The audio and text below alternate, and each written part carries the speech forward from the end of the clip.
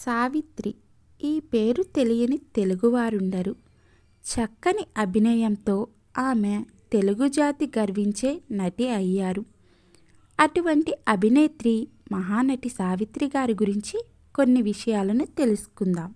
సావిత్రి గారు డిసెంబర్ ఆరు పంతొమ్మిది వందల ముప్పై ఆరున గుంటూరు జిల్లా చిర్రావూరు గ్రామంలో నిస్సంకర గురవయ్య సుభద్రమ్మ దంపతులకి జన్మించారు. చిన్నతనంలోనే తండ్రిని కోల్పోయారు సావిత్రి గారు. పెద్దనాన్న వెంకట్రామయ్య చౌదరి గారు ఆమెను పెంచి పెద్ద చేశారు. సావిత్రి గారికి చిన్నతనం నుంచే కళల వైపు ఆసక్తి ఉండేది. ఆ ఆసక్తితోనే నాటకరంగంలోకి ప్రవేశించారు. ఆ రోజుల్లోనే హిందీ నటుడు పృథ్వీరాజ్ కపూర్ గారి చేతుల మీదుగా బహుమానం అందుకున్నారు సావిత్రి గారు. విజయవాడలోని కస్తూరిబాయ్ మెమోరియల్ పాఠశాలలో చదువుకున్నారు ఈమె. సిస్ట్ల పూర్ణయ్య శాస్త్రి గారి దగ్గర నాట్యం నేర్చుకున్నారు సావిత్రి గారు. తర్వాత సినిమాల్లో నటించడం కోసం మద్రాస్ చేరుకున్నారు. పెద్దనాన్న ప్రోద్బలంతో సినిమా రంగం వైపు దృష్టి సారించి ఎన్నో కష్టాలను ఓర్చి తిరుగులేని అభినేత్రిగా విరజిల్లారు ఈమె. తమిళ నటుడైన జమినీ గణేశన్ గారిని ప్రేమించి వివాహం చేసుకున్నారు. వీరికి ఇద్దరు పిల్లలు. విజయ చాముండేశ్వరి సతీష్ కుమార్. ఎల్వి ప్రసాద్ గారు దర్శకత్వం వహించిన మిస్సమ్మ చిత్రంలో ప్రధాన పాత్ర పోషించారు సావిత్రి గారు. ఆ చిత్రంతో ఆమె తెలుగు చిత్ర పరిశ్రమలో అగ్రకథానాయికగా స్థిరపడ్డారు. పంతొమ్మిది వందల యాభై ఏడులో వచ్చిన మాయాబజార్ చిత్రంలో ఆమె ప్రదర్శించిన అసమాన నటన ఆమె కీర్తి పతాకంలో ఒక మణిమకుటం.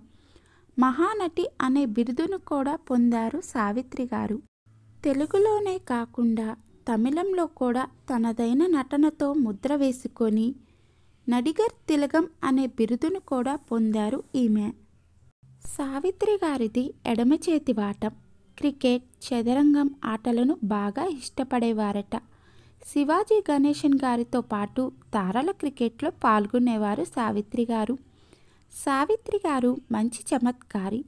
దాన ధర్మాల విషయంలో ఆమెది ఎముకలేని చెయ్యి అని చెప్పవచ్చు. ఆమె దయా హృదయం గురించి చెప్పాలంటే ఒకసారి ప్రధానమంత్రి లాల్ బహదూర్ శాస్త్రి గారిని కలవాలని నిండుగా నగలని అలంకరించుకొని వెళ్ళి అక్కడ నగలన్నిటిని తీసి ప్రధానమంత్రి సహాయ నిధికి దానమిచ్చేశారట. అంత గొప్ప మనసున్న నటి సావిత్రి గారు.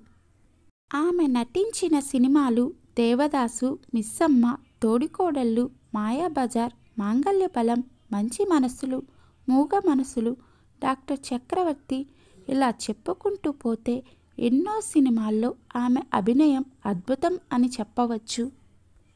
గోరింటాకు చిత్రం సావిత్రి గారి చివరి చిత్రం. కుటుంబ కలహాలు ఆర్థికంగా ఇబ్బందులు ఎదురవడంతో ఒక దశలో బాగా బతికిన ఆమె చివరి దశలో పేద జీవితాన్ని గడిపారు. అనారోగ్యంతో ఒక సంవత్సరం కోమాలో ఉండి నలభై ఆరు సంవత్సరాల వయసులో పంతొమ్మిది వందల ఎనభై ఒకటి డిసెంబర్ ఇరవై ఆరున కన్నుమూశారు సావిత్రి గారు.